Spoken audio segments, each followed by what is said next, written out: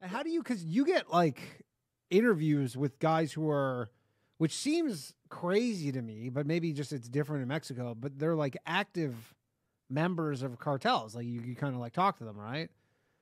Like yeah, why- I mean, because like I think like in America, you ever like they would be like, I'm not talking to a journalist. I'm currently committing crimes. Whereas there, they're like a little. And there was like I saw you were posting about it. There's like they have Instagram pages. Like they're trying to just Yeah. basically like blow up and be famous. And I was looking at before the show started, like one of their Instagram pages.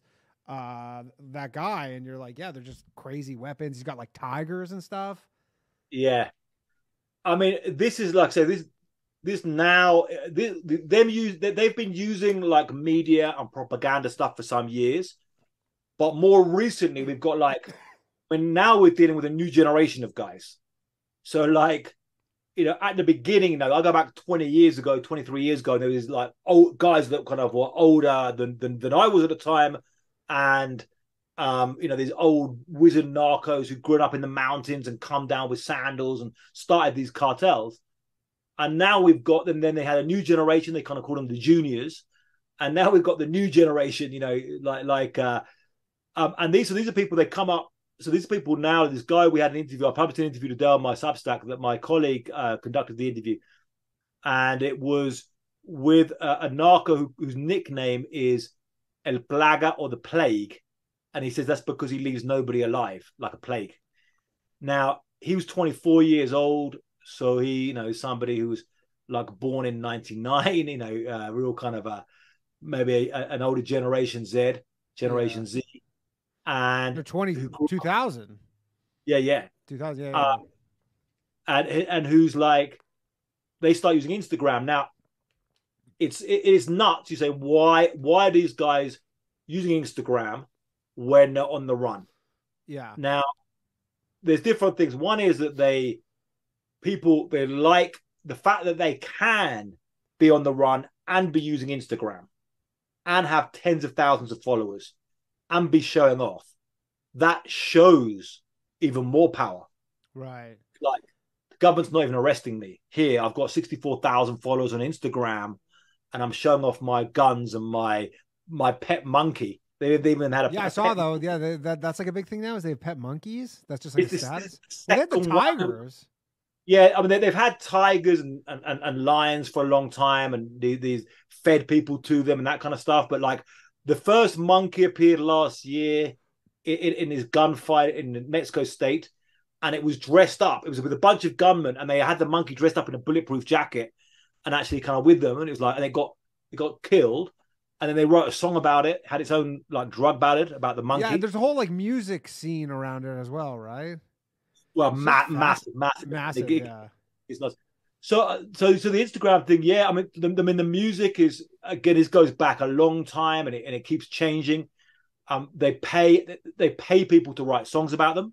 Yeah. They now all some of the artists writing these songs are, mm, are very very popular. I mean, these are people that you can see 200 million views on their videos on YouTube. right. I mean, that's how. Can big- you turn it down? Like, is there that kind of thing where you're like, like, do they just if you say no, I don't want to do it, and they just kind of say okay, or is there like, uh, like, do they do they make people write songs under like kind of threats? Well, it's interesting because so you you you have people who, who write that genre. They often that genre of drug ballads. They might do love songs as well, but they have they dedicated to that song of drug. So once they're into that genre, they kind of need to understand it. Now, I talked to one, I interviewed one um, musician, one singer um, in in LA, um, and he described to me how one of the very big drug lords, a guy called El Mencho, who's one of the biggest drug lords in Mexico, uh, contacted him through through a uh, an intermediary and said, uh, "I want how much do you charge for a drug ballad?" They call them corridos, yeah. And he said, "Well, it's kind of like once you get that kind of, it's kind of hard to you can't really say no." So he said forty thousand dollars, thinking Yeah. I'm, mean, and and the guy came back saying, "I'll take two, Yeah, yeah. Probably What- that's like what- one for me, and one for this gunman, this trigger man who's been really good, and he deserves his own song." Song. Yeah. So this guy wrote the songs, and he said the drug lord himself sent him the kind of lyrics that he wanted, and he said he looked at them, and they, you know, they, they had to had to kind of help them a bit, make them a bit more poetic, and make them rhyme and stuff. hmm Um, and then you know these, and then he, he did them, and uh, and but then you see some bigger name bands um who have got you know songs, you know people who are very high on Spotify right now, you know real big guys. But this artist I'm talking about was a guy. He was one, not one of the biggest ones, and he'd have videos on YouTube with like 50 million views. Wow. So this is how big this culture is. I mean, it's it's big in Mexico, it's big in the United States because the, a lot of these these artists. I went to the record label. Now, some of these again, they have these artists who do love songs and then switch to doing corridos a lot of the time. There'll be other ones who just do pure love songs, but like they'll basically play in any state in the United States, yeah, and get like ten thousand people. Right. Well, I mean, I guess it's similar to like gangster rap, but then it's kind of like in that realm. I guess kind of. It, it, it is no no it, it totally is uh, and one of the earlier uh, guys who was kind of one of the fathers developed this genre was a guy called Chalino Sanchez and he he kind of blew up around the same time as gangster rap did you know he actually blew up in 92 so he blew up and then was literally shot dead he actually was first shot in Coachella not the festival but playing in a in a kind of in a, in a venue in in the town of Coachella okay survived he, he took out a, a, pistol while he was on stage fire back into the crowd, actually shot somebody dead in the crowd. Um, it, you know, he, he, didn't get charged for that because he was defending himself. He was, was, in a coma for a bit, survived, came out, started singing, went, went to Mexico four months later, and was shot dead.